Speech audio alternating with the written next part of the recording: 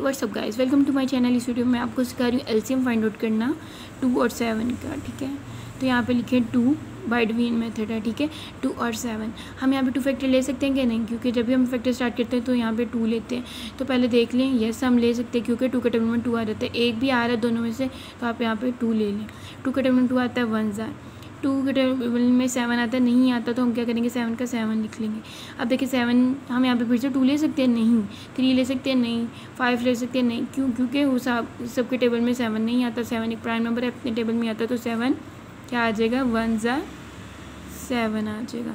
ठीक है तो एलसीएम हमारे पास क्या आया? टू और सेवन का टू इंटू सेवन ये सारे ये फैक्टर्स को मल्टीप्लाई करवा के। ठीक है सेवन टू से क्या आ जाएगा? फोर्टीन तो हमारे पास एलसीएम आ गया टू और सेवन का फोर्टीन ठीक है? और हमें डायरेक्ट अगर आपने पता करना हो कि एलसीएम क्या है तो आप दोनों, देखिए, ये दोनों क्या है? प्राइम नंबर्स है तो प्राइम नंबर्स का एलसीएम ऐसे भी फाइंड आउट कर सकते हैं डायरेक्टली कि हम दोनों को मल्टीप्लाई करवा दें। सेवन को टू से मल्टीप्लाई करवाएँ तो फोर्टीन है क्योंकि दोनों इवन नंबर नहीं है। क्या है? प्राइम नंबर है। प्राइम नंबर मतलब वो अपने टेबल में ही आते हैं। वीडियो अच्छी लगे तो वीडियो को लाइक करें चैनल को सब्सक्राइब